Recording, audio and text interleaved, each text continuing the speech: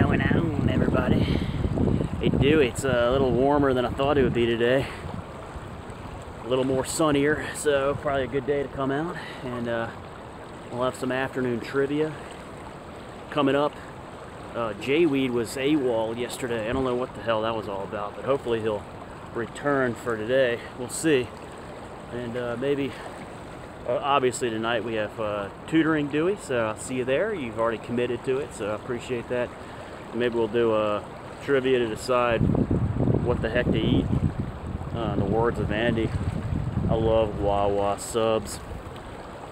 I don't know, maybe maybe Gur eggs, or I don't know. Maybe I should have some uh, like a potbelly sub. haven't been there before. What do you think about that, Big Blue?